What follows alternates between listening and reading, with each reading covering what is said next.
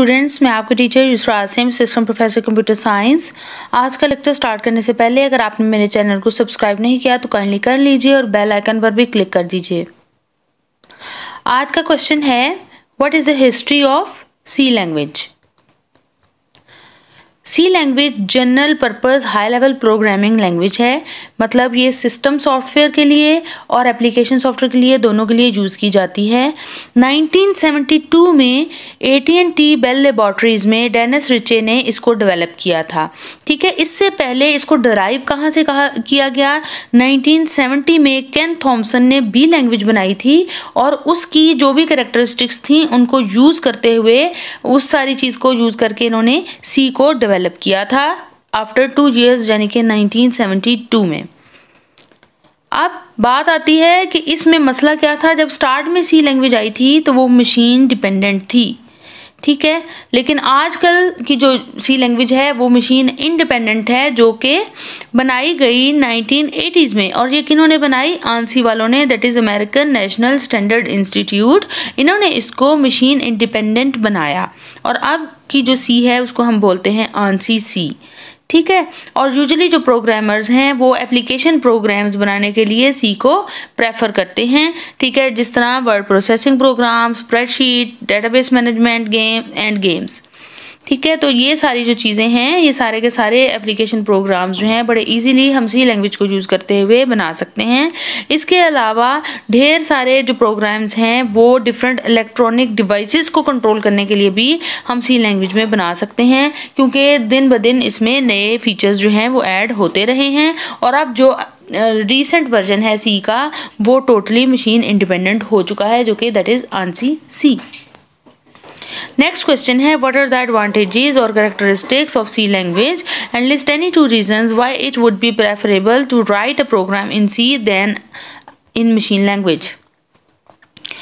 पहले हम सबसे देखते हैं कि सी लैंग्वेज के एडवांटेजेस क्या क्या हैं। ये इजी टू अंडरस्टैंड है। क्यों इजी टू अंडरस्टैंड है? एक तो ये स्ट्रक्चर्ड है। इसमें सारी entire logic of the program छोटे छोटे पार्ट्स में या मॉड्यूल्स में डिवाइड करके लिखी जाती है और ये क्लोजर टू ह्यूमन लैंग्वेज भी है। इस वजह से ये ईजी टू अंडरस्टैंड है। ईजिली हम इसमें लिखे जाने वाले प्रोग्राम्स को अंडरस्टैंड भी कर लेते हैं, उनमें मॉडिफिकेशन भी कर सकते हैं। इसको हम मिडिल लेवल लैंग्वेज भी बोलते हैं, ठीक है? क्योंकि ये बहुत सारे लो लेवल लैंग्वेज के फीचर्स को भी यूज़ कर रही है और हाई लेवल लैंग्वेज के फीचर्स को भी यूज़ कर रही है और इसमें हम असम्बली लैंग्वेज में बने जाने वाले जो प्रोग्राम्स हैं, वो भी इजीली हम इसमें डेवलप कर सकते हैं as an the development of the application software and system software दोनों सूरतों में हम इसको यूज़ कर सकते हैं।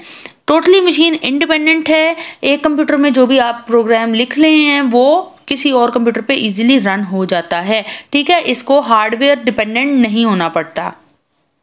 फिर इसमें ढेर सारे बने बनाए फ़ंक्शंस मौजूद हैं सी लैंग्वेज के अंदर और जिनको यूज़ करते हुए प्रोग्रामर्स जस्ट अपने उनको फ़ंक्शंस को कॉल करते हैं अपने प्रोग्राम में और उनको ईजिली यूज़ कर सकते हैं ताकि उन फ़ंक्शंस का उन्हें कोड ना लिखना पड़े।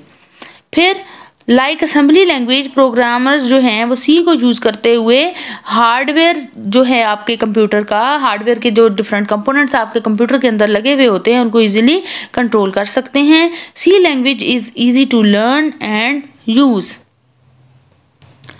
C plus plus जो है, ये भी एक लैंग्वेज है और ये सी की बेसिस पे बनाई गई है। अगर किसी को सी लैंग्वेज आती है तो that would be the first step towards learning C plus plus ठीक है C plus plus almost similar to C है और इसमें जो स्टेटमेंट्स कमांड्स मेथडोलॉजीज जो भी सी में यूज़ हम करते हैं, वही यूजली सी प्लस प्लस में यूज़ हो रही होती हैं। सी लैंग्वेज में मॉड्यूल्स बनाए जाते हैं मॉड्यूलरिटी का ये फीचर आपको देती है because it is a structured programming language programmer जो हैं, वो entire logic of the program को छोटे छोटे यूनिट्स में या फ़ंक्शंस में डिवाइड कर देते हैं और इस तरह से ये जो मॉड्यूल्स हैं या ये जो फ़ंक्शंस हैं, उनको इजीली राइट करना भी हमारे लिए आसान है और वो ट्रांसलेट भी इंडिपेंडेंटली हो सकते हैं। आगे बात आ जाती है कि अगर मैं आपको ऑप्शन दूँ कि आप कोई भी सी का सॉरी भी प्रोग्राम लिखें, ठीक है? या आप सी लैंग्वेज में लिख दें या आप मशीन लैंग्वेज में लिख दें तो आप अगर कहते हैं कि हम सी लैंग्वेज में लिखेंगे तो why you will use C language instead of machine language because there are many number of reasons जो आप बता सकते हैं, जो इसके फ़वाद हैं सी लैंग्वेज के as compare to the machine language वो आप सारी चीज़ें इधर बता सकते हैं। फ़िलहाल हम इधर दो रीजंस देखेंगे। पहली रीज़न क्या होगी? Because C is easy to learn and use इसमें आसानी से हम प्रोग्राम लर्न भी कर सकते हैं राइट भी कर सकते हैं डिफरेंट एरर्स को ईजिली डिटेक्ट भी कर सकते हैं। इसके प्रोग्राम्स में डिफरेंट अपडेशन बड़ी ईजिली कर सकते हैं।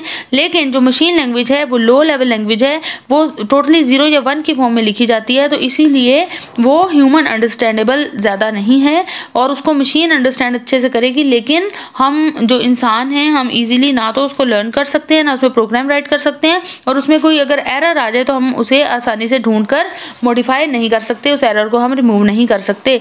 दूसरी रीज़न ये भी हो सकती है कि मशीन इंडिपेंडेंट है सी लैंग्वेज उस वजह से हम इसे यूज़ करेंगे बिकॉज़ जो आपका मशीन लैंग्वेज में लिखा जाने वाला प्रोग्राम है, वो टोटली हार्डवेयर डिपेंडेंट होता है, ठीक है? और हर कंप्यूटर के अंदर अपने सेट ऑफ़ रूल्स होते हैं कोई भी प्रोग्राम लिखने के लिए मशीन लैंग्वेज में।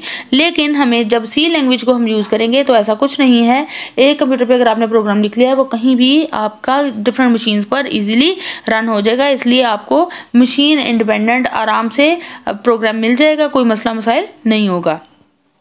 थैंक यू सो मच आपको आज की वीडियो कैसी लगी, लाजमी बताइएगा।